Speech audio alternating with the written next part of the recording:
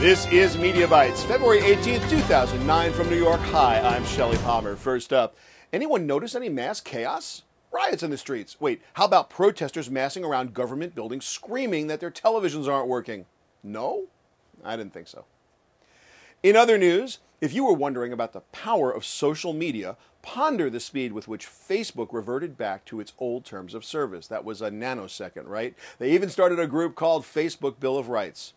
Social media empowers people in ways we're just beginning to understand. It's humbling and exciting all at the same time. The cast of the most over dramatized reality show in Hollywood is going back to work. The Screen Actors Guild and the AMPTP are back at the bargaining table.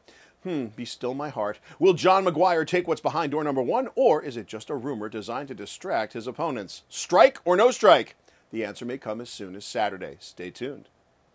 The Copyright Royalty Board and the NAB have reached a deal that some say will save commercial internet radio. However, DiMA, which represents Pandora, Real Networks, and MTV, is not party to the deal. There's no soundbite way to report on this. If you care about the future potential of legal online music, get up to speed on the issue right now.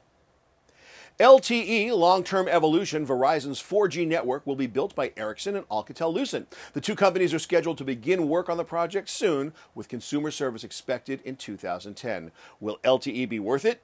Three words Kirk to Enterprise. And from the Dogs and Cats Playing Together department, Nokia and Qualcomm will bring out some next generation mobile handsets in the second half of 2010. Qualcomm chips in a Nokia phone? Wow, I guess anything is possible. MediaBytes is brought to you by Get Digital, my one day hands on course that will make you a digital power user. Visit ShellyPalmer.com and register for Get Digital today. For MediaBytes, I'm Shelly Palmer.